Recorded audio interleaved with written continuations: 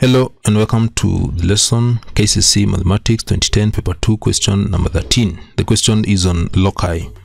Part A of the question using the line AB below construct the locus of a point P such that angle APB is equals to 90 degrees. So the line is there. Part B of the question on the same diagram locate two possible positions of C such that point C is on the locus of P and is equidistant from A and B. So that is the question. So let us go to the first part of the question where we are supposed to use this line to construct the locus of a point P such that angle APB is equals to 90 degrees. Now to solve this question, the first part, we need to realize or to know the property that relates to the diameter and the angle it subtends at the circumference. And this is a property I will explain that on using a circle. Let me just get a circle here. If you have a circle and this is the diameter, according to this property, the diameter, which is AB, subtends an angle of 90 at any point on the circumference. The diameter subtends 90 degrees at any point on the circumference, both on the upper side of that line and on the other side that is on the lower side of the line. So this diameter is going to subtend an angle of 90 therefore for us to construct to ensure that APB is equals to 90 P will lie anywhere on this arc on both sides of this uh, line AB so P will lie anywhere there. So therefore you come to a conclusion that point P will be on this arc. And therefore to construct uh, these uh, locus of point P such that it is that is APB is equals to 90 degrees we shall draw or construct a circle with AB as the diameter. So that is what you're going to do. So let us go directly to constructing that circle. So to construct this circle we just need one thing we just need to get the radius. Let me get the radius of this um, circle.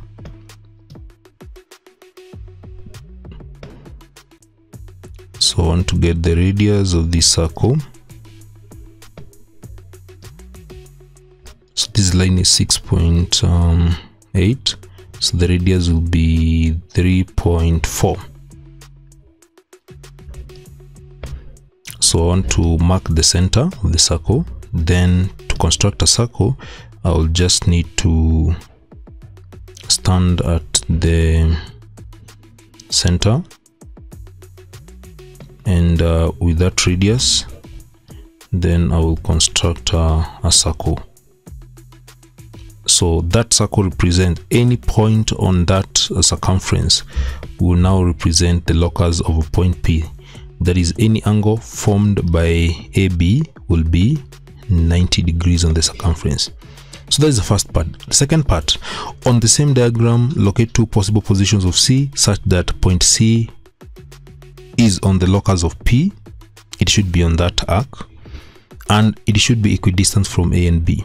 Now the part that is going to guide us here is this here uh, that the locus should be equidistant from A and B.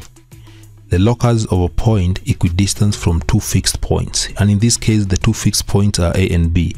That is the perpendicular bisector of that line connecting the two points. To construct the perpendicular bisector just take your pair of compass and open it more than have that line then from there mark an arc on the top there then down here you mark another arc with the same same radius without changing it. You stand on that there without adjusting. Then cut that arc and cut the other arc that is there. So from there take a ruler. Take a ruler and join the point of intersection join point of intersection of those two arcs like that and that represents the locus uh, that is point C which is the locus is on the locus of P. You can see now to identify that uh, we want to identify C C should be on the locus of P and the locus of P is that um, circumference and also it should be equidistant from A and C.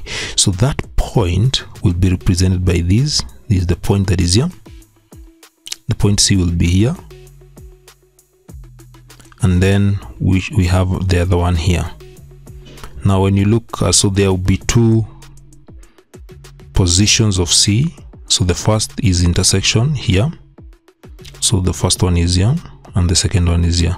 When you look at that it, the the two points are equidistant from A and B and they lie on the locus of P. So that is how you're supposed to solve that question. Thank you